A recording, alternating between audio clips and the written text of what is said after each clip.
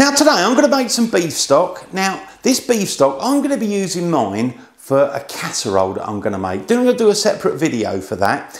Now to make this beef stock, it's really very cheap. You can go down to butcher's, buy your marrow bone, some vegetables, and you've got a really tasty beef stock at the end of it.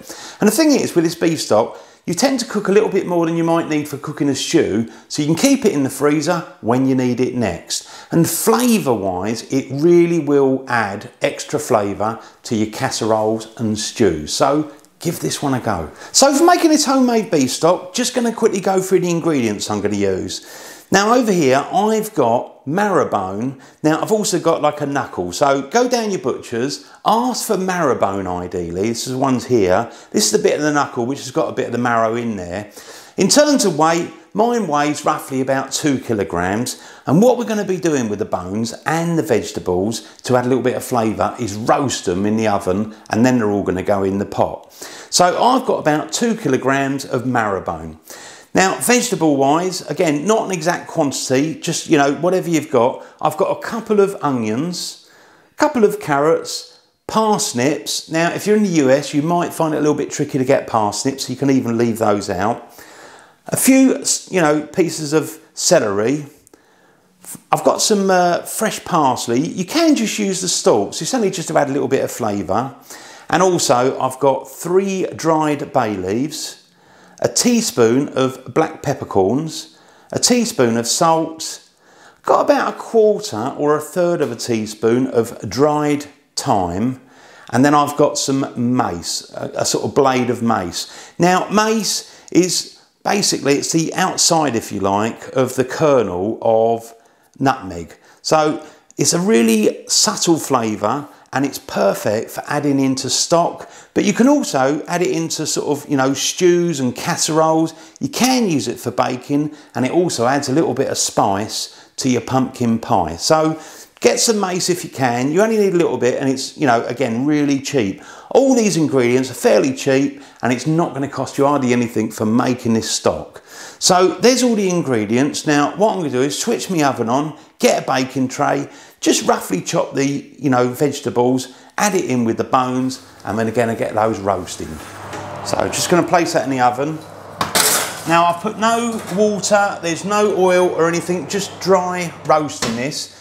Now, I've got my oven temperature set to 200 degrees Celsius, which is 400 degrees Fahrenheit, gas mark 6. Now I'm going to be cooking mine for roughly about 45 minutes. What you should find is the bones got a little bit browner on the outside and again the, the vegetables look a little bit roasted. So keep them cooking as a rough estimate 45 minutes and then we pop them out and are ready to go in the pot.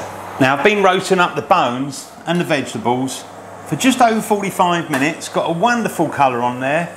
Now what I'm going to do is I'm going to take those over to the hob so I've come over to the hob. Now I've got my bones, got my vegetables. Now what I'm gonna do is I'm gonna take everything out, pop it in the pot, leave any oil behind. So don't use any of the oil, just take the bones and the veg, put it in the pot, along with the spices we've got here. Just put the whole lot in the pot and then bring it to the boil.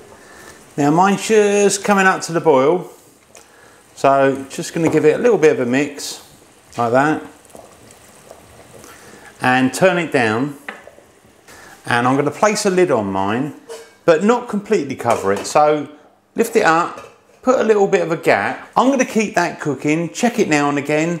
And as the water goes down what you'll find is it'll probably bubble a little bit faster so you might need to reduce the heat again. But I'll see you in about four hours once it's reduced down and it's looking delish. Now I've been simmering the stock for just come out for four hours so let's take the lid off there. Now what I am going to do is have a look. And you see inside any of that left over pull that out. Like so I mean this looks absolutely like you could just tuck into that it looks so good as it is but uh, let's pull that out I'm just gonna pop that onto a plate separate and let's have a look at marrowbone here as well. Pull that out. And what I would say is you want to do that and get all that marrow out because that is going to richen it all up. So just make sure you got it all the way through, the other end as well.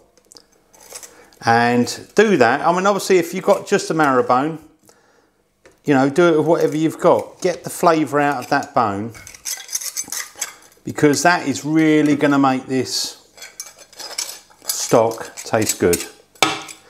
That's it. Got that out. Pretty much most I can. And I'll do that if any leftovers, any bones I've got in there, carry on doing that. So now we're taking the marrow, bone, marrow out of the marrow bone.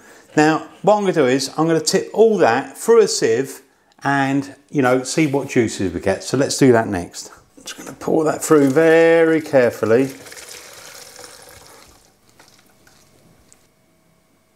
So I've finished making the beef stock. Now I've got all the vegetables left, you know, through the sieve there. And obviously we're taking out the bones and look at the colour on that. Beautiful. Now that is going to be a really nice basis for making the casserole or the stew. I'm going to be using this for making a beautiful casserole with oxtails. But obviously it's the sort of thing that once you've cooked it up, you can leave it in the freezer and you can use it another day, put it in jars, containers, whatever you like. I'm probably going to use most of that or all of it for making up this wonderful oxtail casserole that I'm going to make tomorrow. But absolutely beautiful, simple to do. And the good thing about making your own beef stock or stock it's really cheap to do because you're just using, you know, marrow bone and using vegetables. So thanks for watching my videos. Go and make this because it's a good thing to learn. I'll see you on the next one. The original Naked Chef.